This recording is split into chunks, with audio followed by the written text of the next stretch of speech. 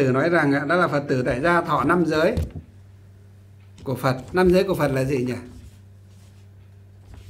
Năm giới của phật đó gì thứ nhất là không sát sinh, thứ hai là không trộm cắp, thứ ba là không tà dâm, thứ tư là không gì? Vọng ngữ, thứ năm là không gì? Uống rượu. Khi chúng ta phát nguyện thọ năm giới, vị pháp sư cái sư phụ chúng ta truyền năm giới cho chúng ta hỏi á. Giới thứ nhất, chư Phật dạy các Phật tử, chúng ta gì? Không được sát sinh. Các Phật tử có giữ được không? Nếu giữ được thì bảo là mô Phật con giữ được. Nếu không giữ được, tạm thời chưa giữ được thì bảo gì? Mô Phật giới này gì? Con chưa giữ được. Khi đó, tôi có thấy mấy Phật tử là nói là gì? Là là mô Phật ở giới này con chưa giữ được đâu. Mà cũng đều là đều mô Phật gì hoặc là A Di Đà Phật con gì con giữ được à? Đó. Nhấn đến gì? Cho đến giới thứ năm là giới không uống rượu. Vị pháp sư vị thầy truyền giới hỏi là giới thứ năm là giới không uống rượu các phật tử chúng ta thì có giữ được không? Nếu chúng ta không giữ được thì phải nói gì? Mô phật hoặc a di đà phật bạch thầy gì giới này gì con chưa giữ được ạ. À? nhưng lúc đó chúng ta đều là gì? là mô phật hoặc a di đà phật con giữ được à, à phát nguyện giữ rồi nhưng mà gì? Mà không giữ đó là gì? Phạm giới. Không chỉ phạm giới mà gì? Thêm cho một cái tội nữa là gì? tội vọng ngữ. Đó là không làm được mà gì? Mà hứa là làm. Đó là vọng ngữ. À, cho nên tôi truyền năm giới cho các phật tử. Tôi phải dạy trước. Thậm chí truyền à, giới bồ tát tại gia cho các phật tử. Tôi cũng phải dạy trước dạy kỹ trước và tôi hỏi từng giới, và tôi, mỗi khi chuyển một giới nào, tôi hỏi các phật tử, nếu không giữ được, thì phải bảo mô phật hoặc a di đà phật giới này con chưa giữ được ạ? À. thì mình có phạm á, thì không mắc thêm tội vọng ngữ. Vì giới đó chúng ta chưa phát nguyện giữ, cho nên chúng ta thì vì cuộc sống gia đình ví dụ phật tử này chẳng hạn, khi thọ giới, nếu mình biết mình là phật tử tại gia, mình còn phải gì? Làm cơm, làm canh dính đến gì? Đến thịt, đến cá cho chồng cho con ăn thì mình đến cái giới gì? Giới không sát sinh này. Mình mô phật hoặc a di đà phật giới này gì con tạm thời chưa giữ được ạ. Như thế là mình làm cơm canh, làm thịt, làm cá cho chồng cho con ăn, mình không phạm vào cái tội gì? Không phạm vào cái tội đệ tử Phật. Hứa là không sát sinh rồi nhưng mà lại vẫn còn sát sinh. Tất nhiên, cho dù gì? Dù mình chưa phát nguyện giữ giới không sát sinh mình vẫn cứ sát sinh bình thường, thì cái nghiệp báo vẫn có như bình thường khác. Giống như anh gieo thì Đức Phật nói trong kinh nhân quả là anh gieo nhân đậu thì được đậu, gieo nhân dưa được dưa, gieo nhân cỏ thì được cỏ thôi. Đó.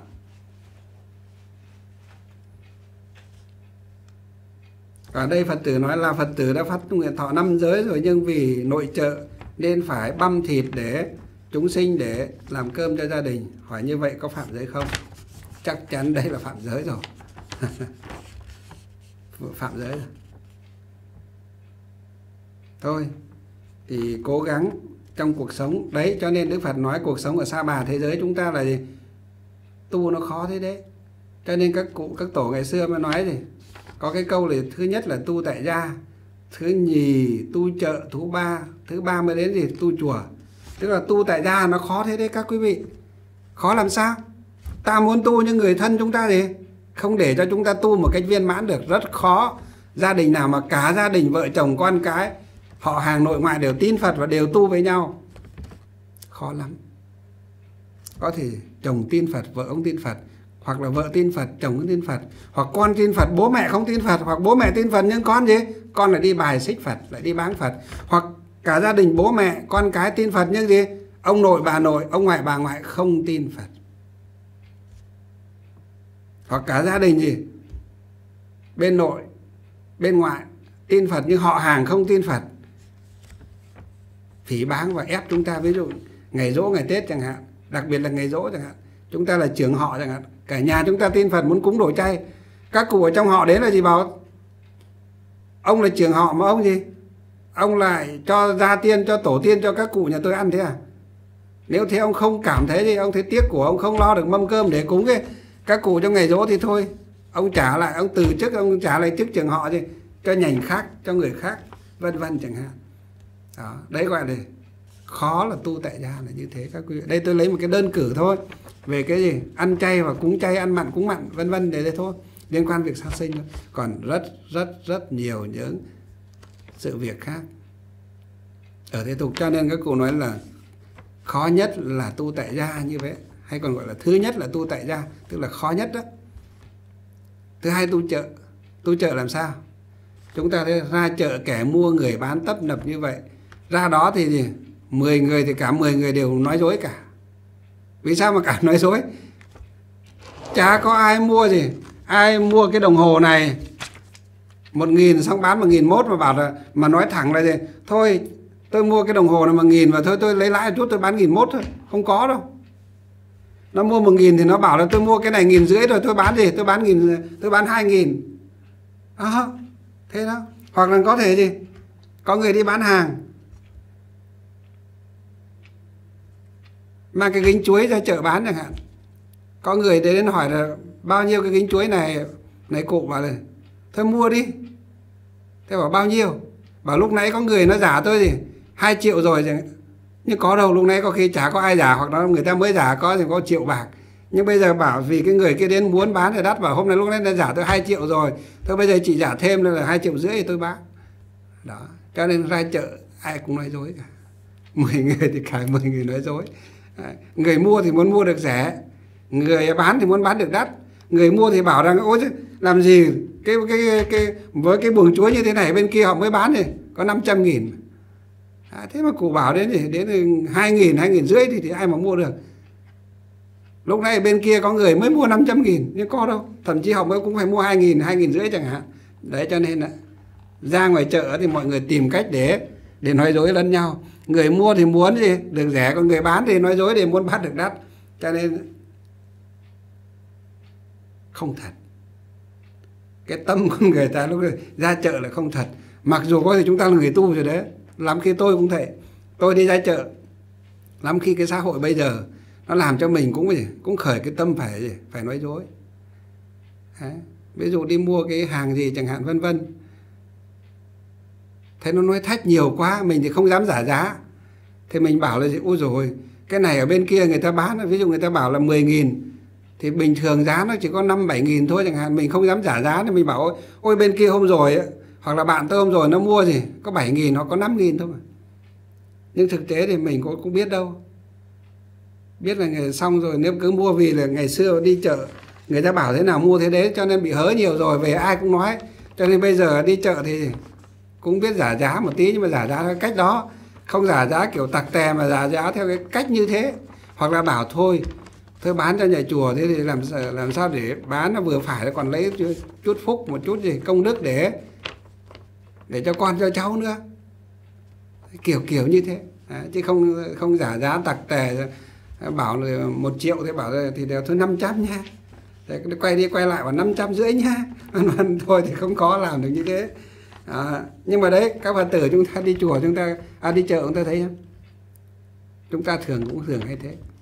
Cho nên là bảo ra chợ nó khó tu như thế hoặc là gì chướng tai ngay mắt một cái sẵn sàng bổ lên để cãi nhau ngay có đúng không? Cãi nhau.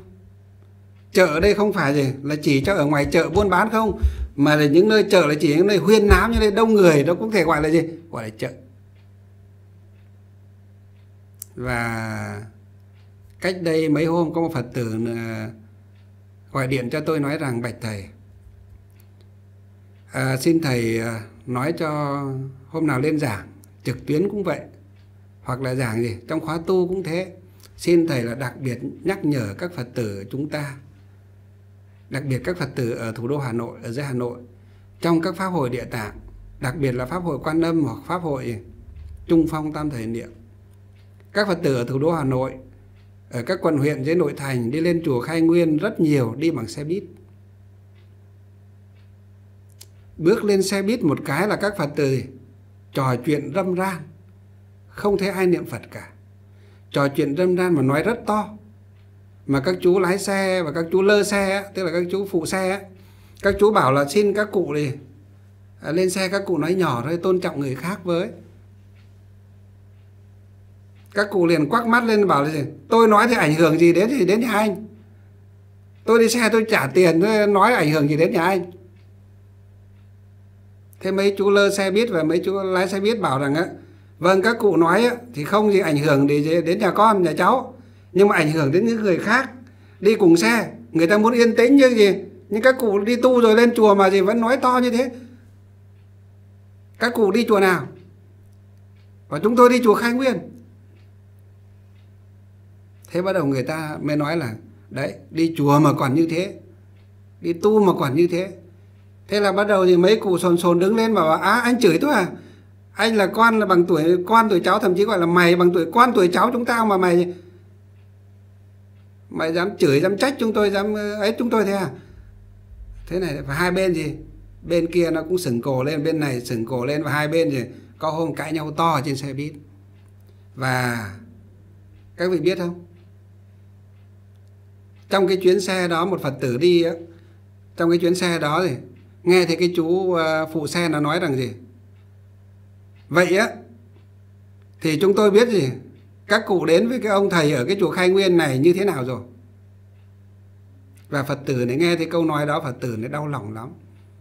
Chảy nước mắt và khóc suốt từ từ ở cái đoạn giữa giữa đường láng hòa lạc cho đến cho đến tới chùa và tử vẫn cứ khóc. Vì khóc làm sao? Họ bảo rằng, nhìn thấy các cụ, các phật tử đi xe buýt mà cãi nhau như vậy, nói to như vậy, họ biết gì? Biết ngay các ông thầy ở chùa khai nguyên này như thế nào. Các vị thấy không? Và quả thật, tôi chưa phải là người tốt. Hôm nay thì tôi mới nói thật với các quý vị, tôi chưa phải là một vị sư tốt, chưa phải là người thầy tốt của các quý vị. Cho nên các quý vị nghe tôi giảng hết ngày này qua ngày khác, nghe tôi nói hết tháng này qua năm khác, mà cái gì tâm các quý vị có thay đổi đâu. Ra chợ lên xe một cái là gì? Là chuyện trò từ lúc bước lên xe cho đến gì? Đến chùa. Đến chùa. Cũng có yên đâu. Cũng tụm năm tụm ba. Nói hết chuyện nhà ra chuyện ngõ. Trừ những lúc lên gì? Nghe thầy giảng và lúc lên khóa lễ. Là bắt buộc phải ngồi theo đại chúng và thầy chấn chỉnh. Thật thật nhiều thì mới gì? Im lặng được một chút. Trong lúc nghe pháp hoặc lúc lên khóa lễ. Xong xuôi thầy vừa ra khỏi khỏi hội trường một cái ra khỏi giảng đường một cái lại ầm ầm như là ong vỡ tổ rồi. Cho nên á, người học Phật chúng ta chúng ta tu phải tu gì? Tu ở trong tâm của mình. Học Phật nghe pháp là phải gì? Phải thực hành. Không phải học Phật nghe pháp để khoe rằng tôi lên dự được bao nhiêu pháp hội. Tôi theo thầy thịnh được mấy năm trời. Dự được bao nhiêu pháp hội theo tôi nghe pháp được mấy năm trời, lên xe buýt. Còn để cho cái gì? Cái chú phụ xe buýt nó nói gì? Nhìn các bà đã biết cái ông thầy thịnh ở chùa khai nguyên như thế nào. Đau chưa? Có đau không? Có biết đau không? Có biết hổ thẹn không? Có biết tàm quý không? Nếu biết đau, biết hổ thẹn, biết tàm quý, thì lần sau lên xe mỗi người một ghế, mỗi người cầm một cái cái chuối tràng nhỏ nhỏ mà gì? A di đà phật. A di đà phật. Nếu người còn trẻ, phật tử còn trẻ, mình lên xe trước mình có cái ghế ngồi, thấy cái người gì người già lên xe, thấy người có bụng mang dạ chửa lên xe, thấy trẻ con lên xe chúng ta liền rời cái ghế của mình lại và gì? Mời cái người già hoặc mời người có gì? Bụng mang dạ chửa đó hoặc mời gì? Mời người bị bệnh hoặc trẻ con đó ngồi vào cái ghế của mình và mình đứng gì? Cho ngồi. Thì đó mới là người đệ tử Phật chân chính. Đó mới là người gì? Người đệ tử của tôi.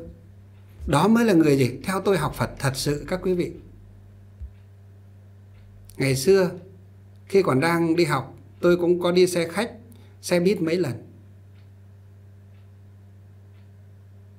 Gần như chưa lần nào mà gì, tôi ngồi từ đầu cho đến cuối cái gì, cái tuyến xe đó. Vì sao? Mỗi khi tôi lên xe, tôi là sư rồi đấy, tôi lên đại đức rồi. Nhưng mỗi khi tôi lên xe, thấy những người già, họ yếu, họ không có chỗ ngồi, tôi liền đứng dậy và gì nhường chỗ cho họ ngồi, mời các cụ ngồi. Họ bảo, thôi thì nhà chùa cứ ngồi đi. Tôi bảo, thôi, cụ cứ ngồi đi, cụ ngồi đi, nhà chùa còn trẻ, nhà chùa còn khỏe, nhà chùa có thể đứng được. Và tôi đứng dậy. Gặp người phụ nữ mang thai. Tôi cũng sẵn sàng đứng dậy vào gì? Mời cô gì? Ngồi vào ghế. Họ bảo, nhà chùa cứ ngồi đi. Tôi bảo, thôi, cô đứng, cô đang có có có bầu như thế thì cô đứng nó mệt, cô cứ ngồi đi. Tôi còn trẻ, tôi khỏe, tôi đứng được, không sao. Đấy là những những cái cái cơ sở, những cái hành động rất nhỏ gì trong cuộc sống. Nhưng người tu chúng ta nếu để ý, đó có phải là tu không? Đó chính là tu. Đó chính là tu được. Ngày xưa tôi đi học, ba, bốn năm trời tôi đi bằng xe máy. Tôi đi qua cái đoạn đường nào mà thấy có cái đinh hoặc cái vỏ chai, tôi liền gì dừng xe lại và tôi hoặc cái hòn đá to to nằm giữa đường, tôi liền dừng xe máy lại và tôi tôi cho vào trong vệ đường hoặc tôi cái đinh đó hoặc tôi cầm tôi cho vào túi mang về nhà tôi, bỏ vào cái chỗ nào đó an toàn nhất. Có những lần tôi đang đi mấy anh em đang đi xe máy với nhau, tôi phanh xe máy lại và gì, tôi xi nhan, tôi dừng vào đường, phanh xe máy lại và tôi chạy sang đằng sau. Các thầy tưởng tôi rơi cái gì? Đợi lại hỏi, ông làm sao đó? Tôi bảo không làm sao. Nhưng thực tế tôi dừng lại chỉ có nhặt gì? Một cái đinh. Vì sao tôi phải nhặt một cái đinh? Người khác thì nhìn đó là một cái đinh. Nhưng tôi tôi nghĩ này, tôi nhìn thấy cái đinh này, phật dạy cái đinh này, nếu chúng ta gì? Để đó, có thể một người nào gì? Đi xe máy hoặc đi bộ, dẫm vào nó, hoặc xe máy lao vào nó, bị thủng lốp, có thể một vụ tai nạn xảy ra. Và cho đến bây giờ ngay ngày hôm qua và hôm nay tôi đã nhặt mấy cái đinh ở trong những cái đường chùa, nhặt cả những cái ốc to. Nhưng ngón tay ở ngay ngoài cửa phòng bảo vệ. Vì tôi nghĩ rằng để cái cái đinh như thế có thể xe ô tô phật tử, họ đi vào đây thì họ chọc vào cái đinh ốc to như vậy, họ bị thủng lốp. Và nếu đang đi trên đường mà với tốc độ cao thì nó mới bục lốp, thủng lốp thì nguy hiểm vô cùng. Hoặc nếu mà vào trong chùa rồi mà thủng lốp họ là phải đi nhọc nhằn để đi đi thay cái lốp. Cho nên nhìn thấy, tôi liền là cúi xuống và tôi nhặt. Ngay ngày hôm qua tôi nhặt hai cái, ngày hôm nay nhặt một cái. Chứ không nói là ngày xưa đi học. Đó là những cái những cái hành xử rất nhỏ trong cuộc sống. Các phật tử chúng ta phải phải đem để thực hành, áp dụng vào trong cuộc sống. Đem lời dạy của đức phật áp dụng vào trong cuộc sống thì đó mới là gì? Mới là người đệ tử phật tu hành. Thực sự tu hành nó ở chỗ nào? Ở chỗ hành động của chúng ta đó. chúng ta nghe thấy được tu và hành mà các vị, tu tức là sửa sửa những cái thói hư tật xấu, lười biếng, vô trách nhiệm của chúng ta với với cộng đồng, với xã hội và với bản thân. Nay chúng ta sống có gì có trách nhiệm với gì? Với cộng đồng, với xã hội và với bản thân mình. Đó gọi là tu. Sửa tức là sao? Hành tức là sao? Hành tức là thực hành đem những cái lời dạy của đức phật, áp dụng vào trong cuộc sống rất thường nhật hàng ngày, ăn uống, ngủ, nghỉ, thậm chí xin lỗi các vị đại tiểu tiện trong nhà vệ sinh, vân vân đó. Cũng đều phải giữ gìn đầy đủ oai nghi phép tắc như lời phật dạy.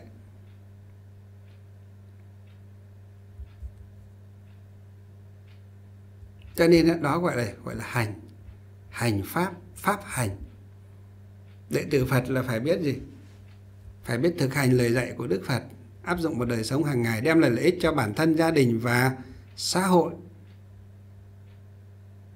Đấy cho nên đó, các phật tử thấy đi trên xe để cho cái ông lơ xe gì nó mắng là nhìn các bà tôi đã biết ông thầy của các bà ra sao tôi đã biết cái ông thầy ở chùa khai nguyên ra sao. Mặc dù người ta chưa một lần vào chùa khai nguyên chưa một lần được gì? Được biết tới tôi nhưng thông qua các phật tử chúng ta, để cho người ta sỉ nhục thầy mình như vậy, sỉ nhục các cụ ngày, các các ờ, nhà nho ngày xưa bảo là gì? Để cho kẻ khác sỉ nhục mình á, mình có thể chịu được. Để cho kẻ khác sỉ nhục thầy của mình á, mình thà nhảy vào đống lửa. Thà gì? Uống nước đồng sôi. Thà là ăn hòn sắt nóng. Còn hơn là để người ta gì? Sỉ nhục thầy mình.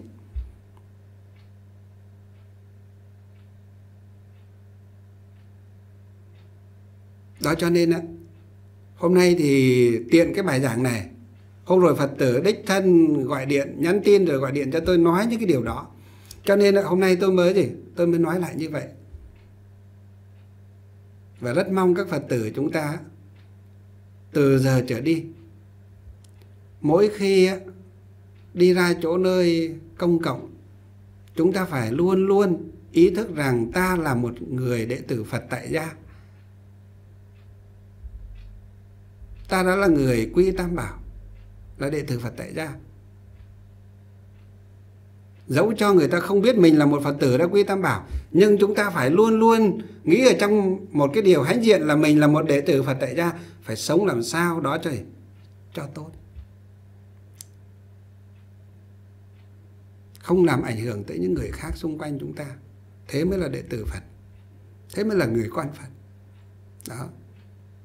Cho nên đây thì hôm nay cũng nghiêm khắc để nhắc nhở các phật tử chúng ta lên xe buýt, đặc biệt vào những pháp hội. Hoặc không phải những pháp hội, đi xe buýt không chỉ lên chùa khai nguyên mà đi bất cứ chùa nào cũng thế. Chúng ta lên xe nơi công cộng là tuyệt đối đừng có nói chuyện râm ran, nói chuyện quá lớn khiến ảnh hưởng tới những người khác. Có nhiều người khác họ rất thích yên tĩnh. Thích một không gian yên tĩnh dù cho gì, cho ở trong một gì, một cái khoang xe buýt thôi. Nhưng họ cũng muốn một cái không gian yên tĩnh nho nhỏ của họ nay chúng ta đánh mất đi không gian yên tĩnh nhỏ nhỏ của họ. Lại nhìn trên thân thể chúng ta mặc những gì? Những mảnh áo nâu những mảnh áo lam nữa. Mà hỏi đi đâu lại hỏi đi chùa để tu nữa. Đó.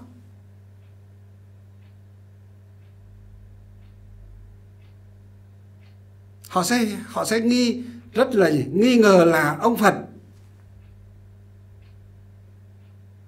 Tại sao ông là gì? Ông lại dạy ra những cái gì, những cái vị đệ tử như thế. Chứ không phải là nghi mình tôi là ông sư ở chùa Khai Nguyên đâu, là thầy các quý vị đâu. Mà người ta còn nghi cả cái ông thầy của ông thầy chùa Khai Nguyên đó là sao? Đó là ông Phật. Không hiểu ông Phật. Ông nói là ông là bậc vô thượng chính đẳng chính giác. Ông là bậc thiên nhân sư chi mô phạm. Là thầy, bậc thầy mô phạm của trời người. Mà không ngờ là gì? Ông có những cái đệ tử như thế này hay sao? Và khiến cho họ gì? Không tin Phật. Thậm chí khiến cho họ còn gì? Còn báng Phật, hủy pháp, hủy tăng nữa. Ai làm cho họ nên gây nên cái tội lỗi báng Phật, hủy pháp, hủy tăng đó? Chính chúng ta. Chính những người đệ tử Phật chúng ta. Đó.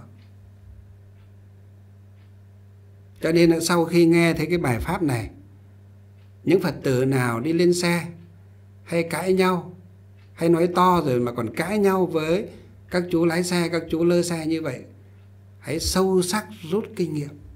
Tôi nói là, nói lại là hãy sâu sắc rút kinh nghiệm. Mà thay vào đó chúng ta chỉ nhất tâm niệm phật. Niệm thầm thôi. Chứ ngồi lên xe cũng đừng có gì cùng với nhau là gì? Ngồi lên xe buýt của người ta. Mà cùng nhau để hò dỗ ta để niệm phật cùng to lên nào niệm phật to lên nào và gì năm ba bảy bà phật tử là chục, hơn chục bà phật tử là gì cứ thế là niệm phật râm ran ở trong xe người ta khiến gì? Những người họ không tin phật, họ không theo phật gì? Họ rất là gì? Tức tối. Rất là phản cảm. Cho nên tôi khuyên lên xe thì gì? Niệm nhỏ thôi. Niệm thầm trong tâm thôi và lần lần khẽ cái chàng hoặc không có cái chàng để gì? Bấm bấm trên đầu ngón tay mà a di đà phật, a di đà phật hoặc a mi đà phật, a mi đà phật hoặc nam mô a di đà phật hoặc nam mô a mi đà phật, vân vân. Thế thôi. Gọi là kim cang trì hoặc là mật trì hoặc là ý trì trong gì? Trong tâm, khẽ động đầu môi chóp lưỡi của mình thôi. Đó gọi là gì? Niệm thầm. Hoặc là ý trì thì gì? Nhớ trong tâm thôi. Đó. Hôm nay tôi nói giảng qua bài này, tôi nói như vậy rồi. Cũng chính là gì? Là tôi nhắc nhở các quý vị rồi đó. Lần sau mà còn nghe thấy các nhà xe họ nói những cái điều đó, thì tôi sẽ điều tra xem nhóm phật tử đó là nhóm phật tử đạo tràng nào. Nếu mà nhóm phật tử ở trong bất cứ đạo tràng nào thuộc Tỳ tông của việt nam, tôi liền bảo nhóm trưởng, tổ trưởng đó trục xuất ra khỏi đạo tràng nhà mình ngay vì tôi không bao giờ dạy các phật tử chúng ta như thế. Tôi chân thành, tôi tha thiết dạy bảo chúng ta từng ly, từng tí. Dạy chúng ta cả cách ăn cơm, cách nằm ngủ, cách nói năng, cách đối nhân xử thế. Dạy hết gì? Ngày này có tháng khác. Dạy ban ngày chưa đủ, tôi dạy cả ban đêm đấy các vị biết ban ngày tôi đi làm việc làm cả việc giáo hội rồi làm cả việc gì? Việc trụ xứ. Ban đêm về, tôi vẫn cố để lên giảng cho các quý vị. Chỉ mong các quý vị gì? Thay đổi cái tính tình, cái thói hư tật xấu của mình để trở thành một người gì? Người con phật tại gia tốt hơn. Một người đệ tử phật đúng với ý nghĩa của gì? Của một người đệ tử phật.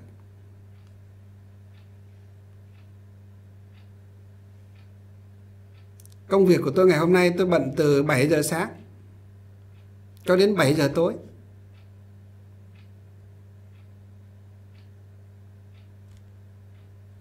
Bảy giờ tối, hơn 7 giờ tối xong thì mới ăn bát cháo. Ăn bát cháo xong một cái, nghỉ 15 phút.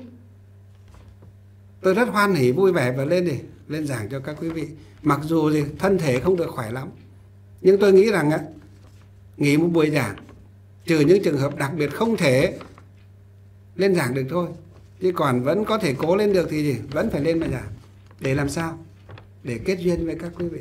Để mong cho các quý vị à, bỏ được cái thói hư tật xấu. Cái tính chúng sinh kiêu căng ngã mạn. Bón sẻn keo kiệt của mình, càng sớm ngày nào thì càng tốt ngày đó. Vì đức phật nói, thọ mạng của con người ta nhanh lắm tôi cũng vậy, các quý vị cũng thế. Ai dám khẳng định hôm nay chúng ta còn khỏe, ngày mai chúng ta vẫn khỏe, năm nay chúng ta còn khỏe, sang năm chúng ta vẫn khỏe, năm nay chúng ta còn khỏe, năm, mười, hai, ba, bốn mươi năm nữa chúng ta vẫn khỏe. Không ai có thể khẳng định được điều đó. Cho nên thôi thì tất cả chúng ta đều cùng phải cố gắng, cùng phải làm sao để diệt trừ những cái điểm khiếm khuyết của mình, tiêu trừ những cái điểm khiếm khuyết của mình đi và thay vào đó là những chỗ tốt đẹp, những điều tốt đẹp, viên mãn tròn đầy sáng suốt, dần dần khỏa lấp vào những nỗi, những chỗ quyết quyết thiếu tối tăm hổ bại và xấu sai. Chỉ cần chúng ta quyết tâm, chúng ta chân thật học Phật dần dần chúng ta sẽ làm được điều đó. Và qua đây rất mong các phật tử chúng ta đều sẽ làm được điều đó. Amitobo